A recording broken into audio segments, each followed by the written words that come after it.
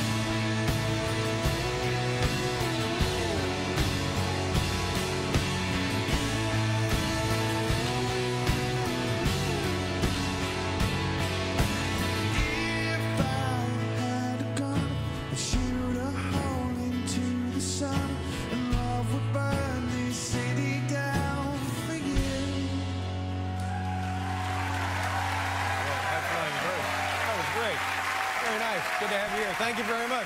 Noel, how are you? That was wonderful.